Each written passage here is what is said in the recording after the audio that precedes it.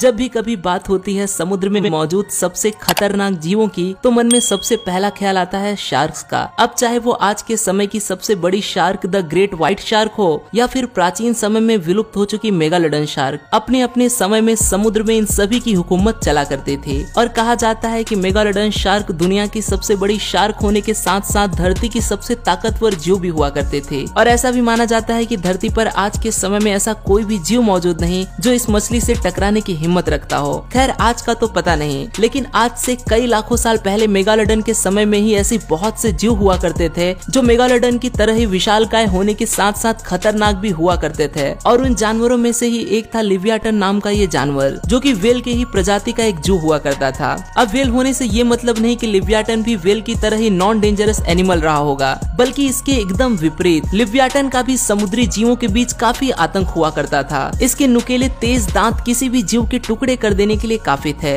अब ऐसे में इस बात की भी काफ़ी संभावना है कि समुद्र में आतंक मचाने वाले इन दोनों ही जीवों का कभी न कभी तो सामना ज़रूर हुआ ही होगा। और अगर ऐसा हुआ हो तो इस मुकाबले में आखिर जीत किसकी हुई होगी? तो चलिए दोस्तों, जानते हैं क्या होगा जब समुद्र में ये दो दानव आपस में टकराएँगे तो। जैसा की हम सभी जानते हैं की मेगालोडन दुनिया की सबसे बड़ी शार्क हुआ करती थी, जिसका आकार होता था अठारह मीटर। आपको आकार के कंपैरिजन के लिए बता दूँ कि आकार इतना बड़ा था कि इसमें आज के समय की सबसे बड़ी शार्क, द ग्रेट व्हाइट भी तीन बार समा सकती है। और वहीं अगर बात की जाए इसके वज़न की तो वो था करीब पैंसठ टन, जो कि ग्रेट व्हाइट शार्क की तुलना में पचास गुना ज़्यादा है। अब एक हाथी कितना वजनी होता है, ये बात मुझे आपको बताने की ज़रूरत नहीं। लेकिन क्या आप जानते हो कि दस बड़े हाथी मिलाकर भी मेगालोडन के वज़न की बराबरी नहीं की जा सकती? और अगर इसके दांतों की बात की जाए तो मैं क्या बोलूँ, आप खुद ही इस पिक्चर को देख इसका अंदाज़ा लगा लीजिए। यह है विलुप्त हो चुकी मेगालोडन शार्क का एक दांत, जो की एक आम शार्क की तुलना में काफ़ी बड़ा है। अब इतना सब जानने के बाद मन में बस यही ख्याल आता है कि इतने खतरनाक जीव के साथ कौन लड़ेगा भला। लेकिन जरा रुकिए, क्योंकि लिव्याटन भी किसी से कम नहीं, और लिव्याटन की लंबाई भी मेगालोडन की जितनी ही यानी कि करीब करीब 18 मीटर लंबी ही हुआ करते थे, और इसका वज़न भी सत्तावन टन के ही आसपास हुआ करता था। मतलब एक बात तो साफ़ है कि लिव्याटन वज़न और आकार में मेगालोडन को पूरी तरह से टक्कर देने की काबिलियत रखता था, लेकिन समुद्र में किसी भी जीव का जो सबसे बड़ा हथियार होता है, वो है उसके दांत, और मेगालोडन के दांत कितने बड़े हुआ करते थे, ये बात तो मैं आपको पहले ही बता चुका हूँ, और इसके तीन मीटर तक लंबे जबड़े में कुल दो सौ छिहत्तर तेज धार और नुकीली दांत हुआ करते थे। लेकिन अगर बात की जाए लिवियाटन के दांतों की तो वो आकार में मेगालोडन के दांतों से काफ़ी बड़े हुआ करते थे, जिसका साइज़ था 36 सेंटीमीटर यानी कि मेगालोडन के दांतों की तुलना में दोगुना ज़्यादा बड़े थे। हालाँकि गिनती में इनके पास सिर्फ़ 40 दांत ही हुआ करते थे, पर अपने शिकार के चिथड़े उड़ा देने के लिए ये 40 दांत भी काफ़ी थे।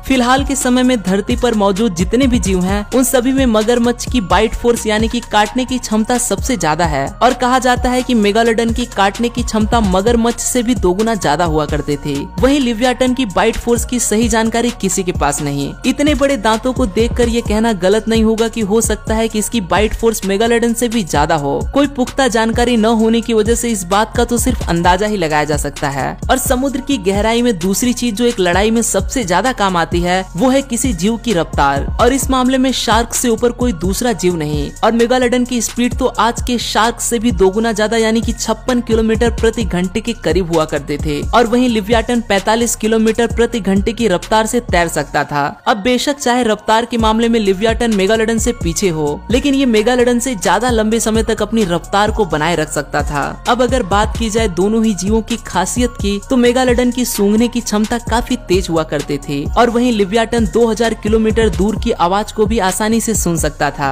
यहाँ तक कि वो मेगालोडन के मुकाबले काफ़ी बुद्धिमान भी हुआ करता था, जिसके चलते ये अपने साथियों के साथ बातचीत भी किया करता था और मुसीबत के समय में उन्हें मदद के लिए पुकार भी सकता था। अब इन दोनों ही जीवों की इन क्षमताओं को आपस में कंपेयर करने के बाद ये कहना थोड़ा मुश्किल है कि इन दोनों ही जीवों की भिड़ंत होने के बाद जीत आखिर किसकी होगी। लेकिन कहीं न कहीं वज़न, दांत और रफ्तार के चलते मेगालोडन के पास एडवांटेज थोड़ा ज़्यादा है, जिसकी वजह से मेगालोडन लिव्याटन को ज़्यादा नुकसान पहुँचाने की क्षमता रखती है। लेकिन अगर ऐसे में लिव्याटन ने पहला हमला कर दिया तो उस लड़ाई में वापसी कर पाना मेगालोडन के लिए भी आसान नहीं होगा। इन सभी बातों को जानने के बाद एक बात तो साफ़ है कि ये दोनों ही जीव एक दूसरे से किसी भी तरह से कम नहीं। और एक ही समय में मौजूद होने की वजह से ऐसे मौके भी ज़रूर रहे होंगे जब इनका एक दूसरे से सामना हुआ होगा। और ऐसे में जिस किसी ने भी पहला वार किया होगा, जीत भी उसकी ही रही होगी। हाँ ऐसा भी हो सकता है कि ये दोनों ही जीव एक दूसरे से दूर रहकर सिर्फ़ छोटे ही जीवों को अपना शिकार बनाना पसंद करते हो। अब सच क्या है, ये तो पूरी तरह से कोई नहीं जानता। और आपका क्या मानना है इस वीडियो को देखने के बाद? क्या हुआ होगा जब ये दो जीव आपस में टकराए होंगे तो। और ऐसे में जीत किसकी हुई होगी? मुझे अपनी राय कमेंट्स करके ज़रूर बताएँ। और अगर ऐसे ही किसी और भी जीव का कंपैरिजन वीडियो चाहते हो तो सजेशंस के लिए नीचे कमेंट बॉक्स में आपका स्वागत है। वीडियो पसंद आई हो तो इसे लाइक और शेयर करना मत भूलना। मैं जल्दी ही मिलता हूँ आपसे ऐसे ही एक और अमेजिंग वीडियो के